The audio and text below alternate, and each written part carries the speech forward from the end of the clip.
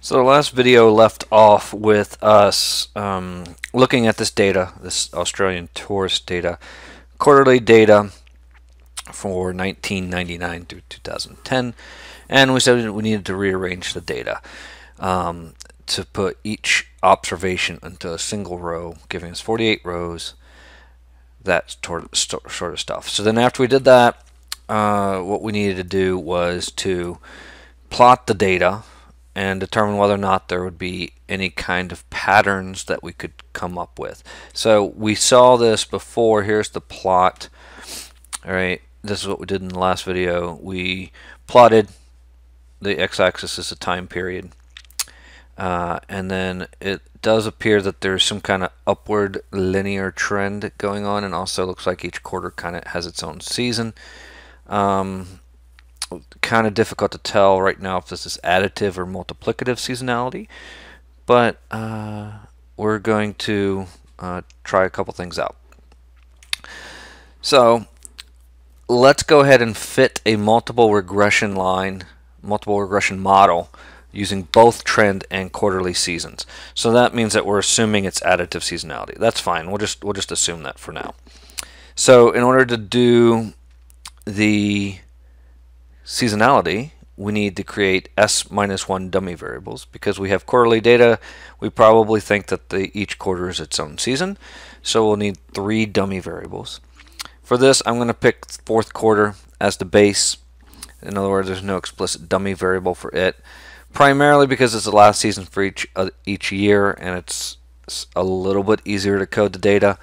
But, you know, you can, as long as you know which one is your base and keep with it, you can still make get, come to the same conclusions. Right?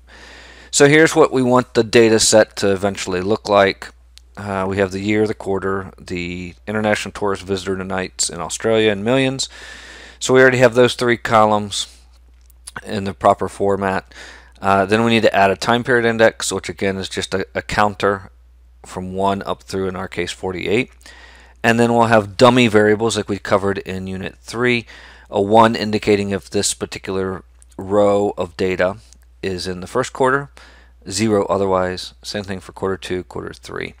And then notice that for the fourth quarter, because it's our base, there will be all zeros in that row right here. And what that means is if it's it's not in the first quarter, it's not in the second quarter, it's not in the third quarter, so it has to be in the fourth quarter, which is our base. So let's go back to the data set uh, I went ahead and copied this over for us and changed the, the, the title here for the first one for uh, column C. And then to make it consistent with what's on the slides, let's do time period index and then quarter one, quarter two, quarter three. Those will be dummy variables. Right? And then make everything pretty. Time period index, we just do 1, 2, and then count. We ought to be able to autofill that down all the way down to 48.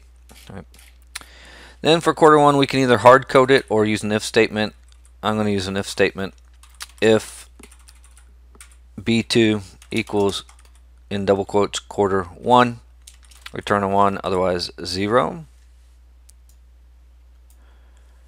All right. So in that case, I get a 1. If, uh, let me scroll over so you can see a little better. If B2 equals quarter 2, return a 1, otherwise return a 0. And if B2 equals, double quote, quarter 3, return a 1, otherwise a 0. And now, because I did relative reference, I ought to be able to autofill that all the way down.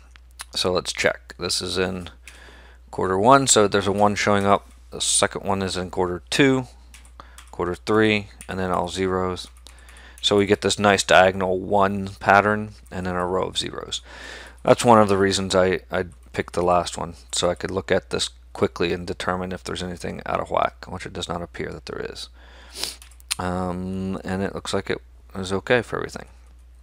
So once we have the dummy variables and the time period index, we want to create an estimated regression equation, multiple regression, uh, where our dependent variable, our y, our outcome variable, the thing we're trying to forecast, is the international visitor nights in Australia in millions.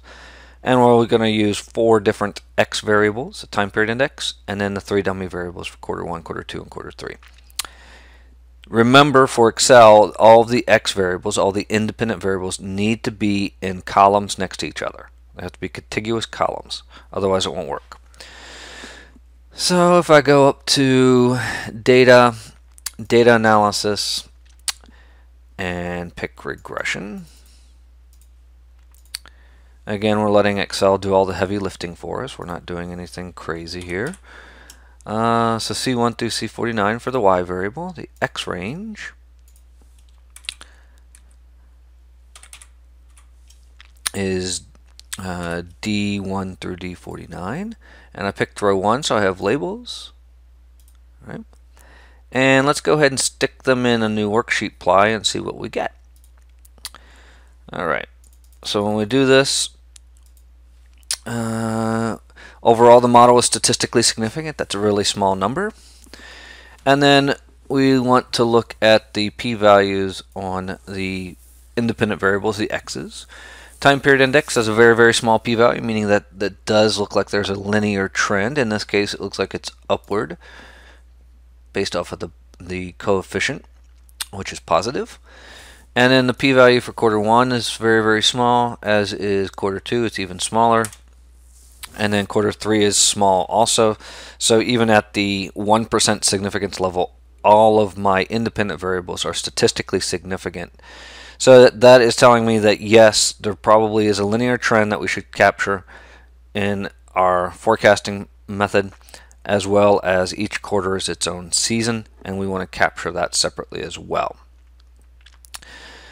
So we can say uh, that there that both of the, all those things exist. The linear trend, which is positive and uh, which means upward, is there, um, and then what can we say about the seasonality? Which season is the one that contain has the most tourists coming into Australia? Well, remember our base was quarter four. So all of the coefficients on the dummy variables, quarter one, quarter two, quarter three, are in relation to quarter four. So if we look at the coefficient on quarter one, it's positive. Quarter 2 is a negative, and quarter 3 is a negative.